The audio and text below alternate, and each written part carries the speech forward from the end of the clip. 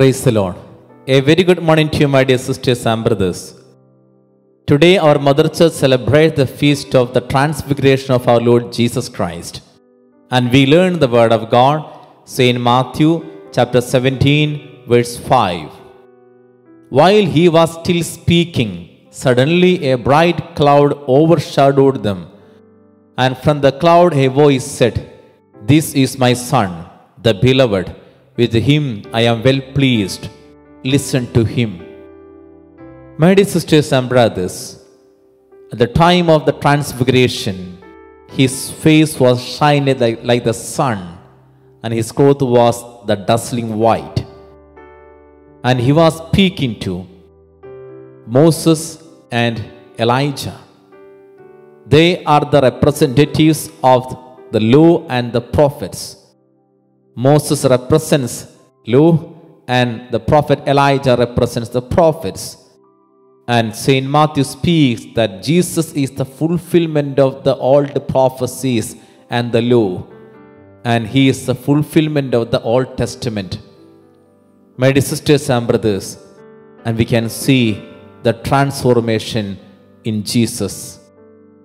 My dear brothers and sisters, as we are celebrating today the Feast of Transfiguration, that God is calling each one of us to a real transformation from the old self to a new self.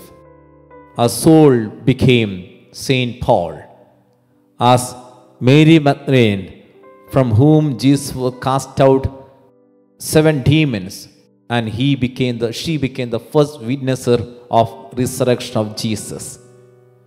And the Samaritan woman was diverting many people from the right path, and she brought all the people to Jesus.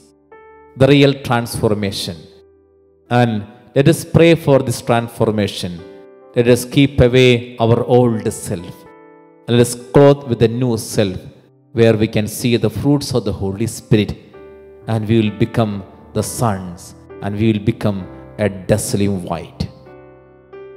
My dear sisters and brothers, let us offer all the interests of today, and we pray. Thank you, Jesus, for a new day.